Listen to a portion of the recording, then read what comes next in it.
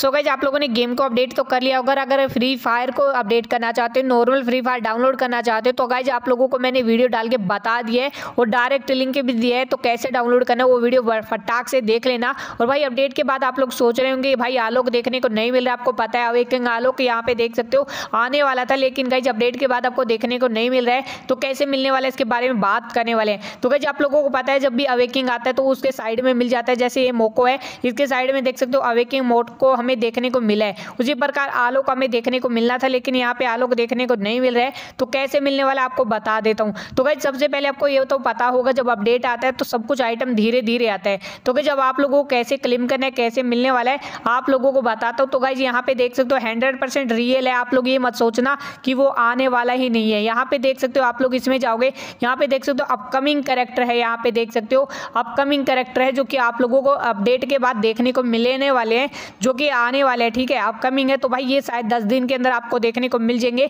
यहाँ पे देख सकते हो अवेकिंग आलोक दिया गया है। तो भाई दस दिन का वेट कर लीजिए, दस दिन तक आप लोगों को देखने को मिल जाएगा दस दिन के अंदर। वीडियो को लाइक कर देना।